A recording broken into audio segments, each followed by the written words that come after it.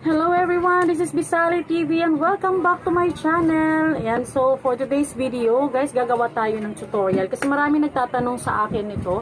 Ayan, ang gagawin natin ay kung paano uh, lalagyan ng watermark yung ating mga YouTube video. So ngayon, uh, ituturo ko po sa inyo isa-isa or step by step gamit po yung aking computer po. Ayan, yung computer po namin. Diyan po tayo gagawa. At uh, uh, i-share ko din po sa inyo kung gaano po ka-importante na meron po tayong watermark po sa ating mga video. Kasi guys, alam nyo kung meron po tayong watermark sa ating mga videos, ay uh, maiwasan po na makuha po or makopy yung video natin ng iba. Ayan. At pangalawa, mas maganda po na meron po tayong watermark dito po sa may baba ng ating video. At uh, lalo na ko yung nakalagay dyan ay subscribe po, yung word na subscribe kasi halimbawa po na nanonood po sila ng video natin ay madali po nilang makiklik yung subscribe po na na watermark dyan sa ating uh, video uh, na hindi po mai-interrupt yung kanilang panonood ng ating mga video. So mas madali po yan tayong masubscribe at higit sa lahat guys, mara, ma, madadagdagan or dadami yung ating mga subscribers sa pamamagitan ng ating uh, watermark na nakalagay dyan sa ating screen. Yun po kaya mahalaga po na mayroon po tayong watermark. Ayan. Sa mga sa mga subscribers ko at sa mga kaibigan guys na nagtatanong. Ayan, ito na uh, gagawin na natin para hindi tayo ano, para hindi tayo paulit-ulit or hindi tayo mag-isa-isa na magturo po sa inyo. Kasi yung ibang mga kaibigan ko ay uh, ano, ginagawa namin yan sa ano, ginagawa namin yan via ano, uh, video call. Ayan. So ngayon, guys, para lahat po kayo or para po sa pangkaramihan po, para pa sa pangkalahatan na kahit hindi ko po mga channel members or kahit hindi ko po mga kaibigan dito sa YT ay uh, may share po din natin yung ating kaalaman po tungkol po kung paano uh, maglagay ng watermark sa ating mga YouTube video. So ayan guys, ayan kung napaklik po kayo dito sa aking video or kung bago lamang po kayo at kung naghahanap po kayo ng ganitong video or tutorial guys, ayan, pakiclick na lang po, ayan, nandyan po yung aking subscribe button at paki uh, bell all na lang din po ng aking notification bell para kayo po ay ma-notify sa aking mga i-upload po soon na mga magagandang contents. Ay meron po tayo dyan mga pa-tutorial, meron po tayo dyan mga challenge, meron po tayo dyan mga mga travel vlogs, meron tayo dyan mga live streaming. Ay may live streaming po tayo every 10pm Pinas time po. Ayan, every other day. Or kung mayroon tayong oras, eh nakapag live stream po tayo every night.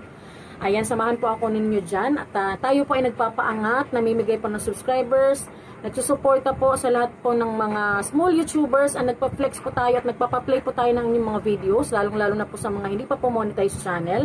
Ayan, tumutulong po tayo dyan na madagdagan po yung kanilang mga watch hours. So, ayan guys, uh, bago po natin simulan itong ating tutorials, ay ayan, ayan, na uh, paki, ano, subscribe muna, paki-like, and comment po, ayan, sa mga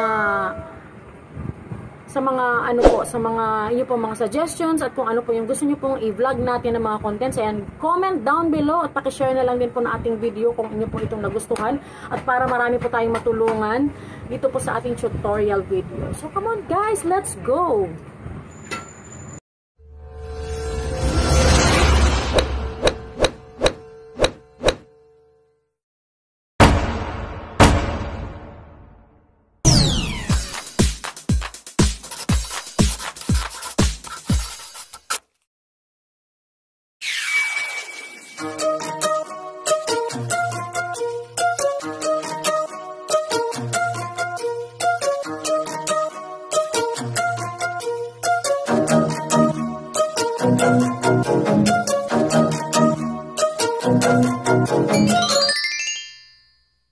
Gagawin natin ngayon is uh, tatapat ko lang yung aking camera dito sa aking computer. So, ang gagawin natin una para tayo ay makapag uh, uh, gawa ng ating uh, watermark. Ang ginawa ko dyan guys ay uh, yun. So, gamit yung computer. Ayan, makikita nyo yung aking uh, channel. So, pupunta tayo guys sa ating uh, app na Canva. Kasi dyan tayo gagawa ng uh, subscribe button. Ayan. So, ang ginawa ko dyan, ayan, gumawa ako dyan ng uh, gumawa ako dyan ng ng logo. Ayan. Makikita nyo yan guys. At niresize ko lang yan. Dapat yung pag-resize nyo po is ang gagawin nyo po dyan. Ayan. Ito pong ano, itong uh, custom size po ay gagawin natin ano, square. So, gagawin natin yan 150. Ayan. 150 by 150 ang gagawin natin dyan para square ang kanyang size. Kasi yun po yung uh, allowed po na size kay ano, kay uh, dun sa paggawa natin ng ating watermark. So, ayan, nagawa na natin 150, 150. So, ayan, copy and resize natin. Click natin yan.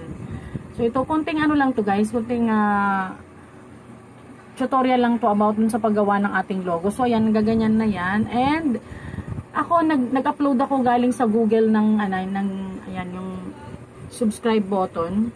Tapos, ayan, uh, nung, na-resize ko na yung kanyang, ano, yung kanyang, um, uh, logo sa Canva. Ayan, ipasok na lang natin, upload. Tapos, ayan, yan, in-upload ko na. So, naging ganito na siya. And then, ayan, may nakalagay naman dyan na download. Yun, na-download ko na sa computer ko. Then, after ko ma-download yan, punta na tayo sa ating channel. Tayo sa channel natin. Ayan. So, ito yung channel natin. Ayan.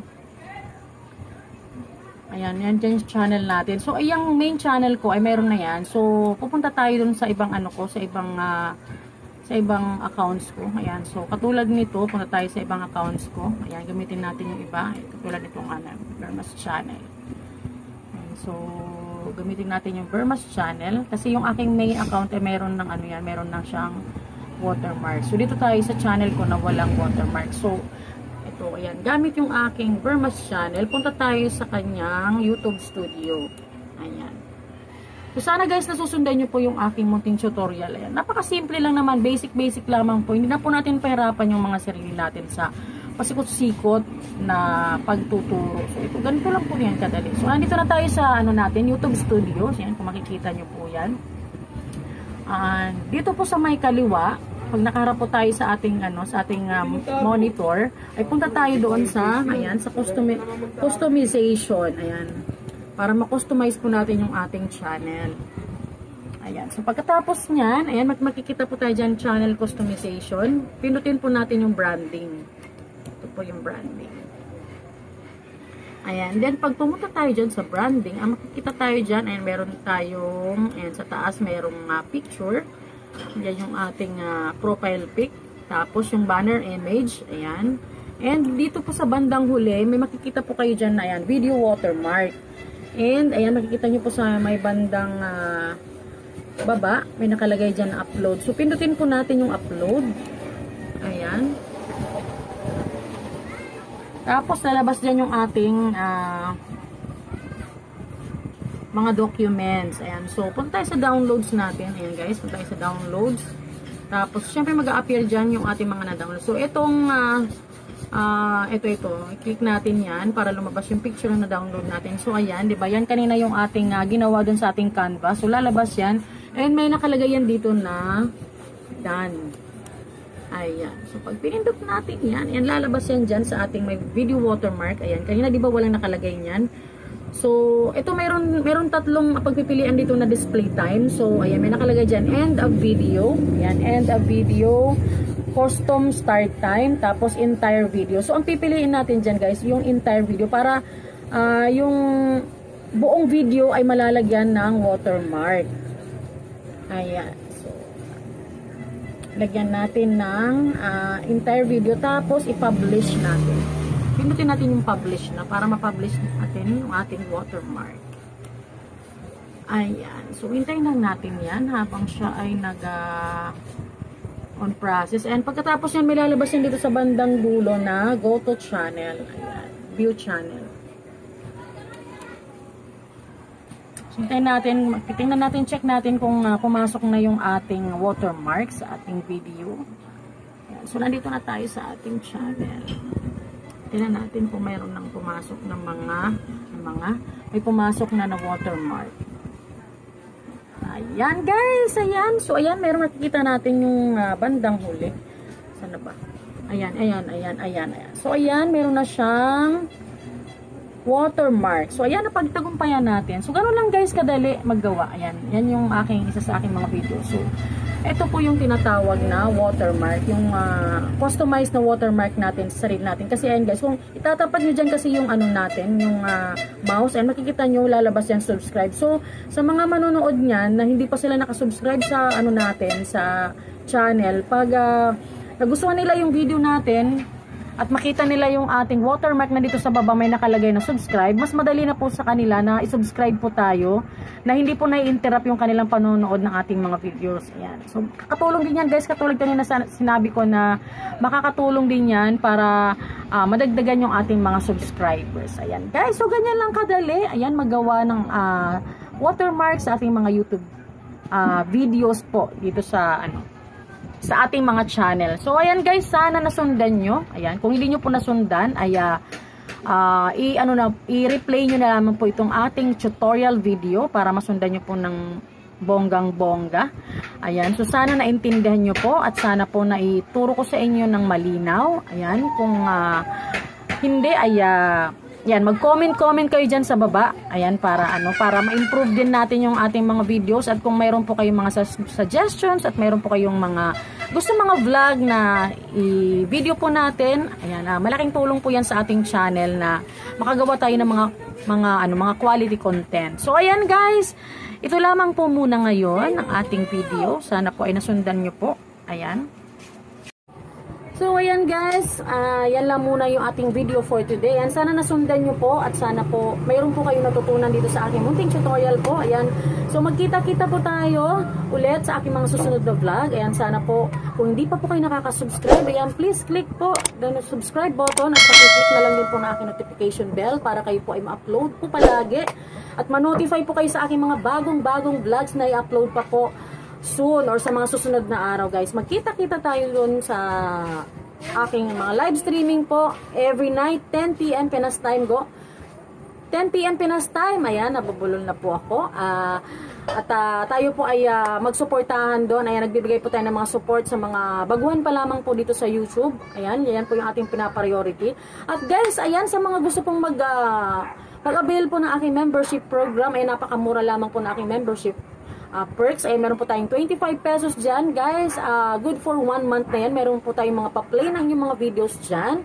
Ayan para lamang po kayong bumili ng soft drinks niyan sa isang araw. Yan pong 25 pesos na yan ay malaking tulong na po yan sa inyong mga channel. Kasi ako po ay nagpe-play ng inyong mga videos para madagdagan po ang inyong mga watch hour po na kinakailangan po ng ating mga channel para tayo po ay ma-monetize. So ayan guys, um, magkita-kita tayo ulit at sana po ay na-subscribe nyo po ako para po tayo po ay uh, magkaroon po ng mga ano ng uh, pagkakaibigan din dito sa YDM side guys. See you all ulit po on my next vlogs and next live streaming po. Have a nice day and God bless. Ingat-ingat po tayong lahat dyan guys. Bye-bye. See you all. God bless. Thank you so much for watching.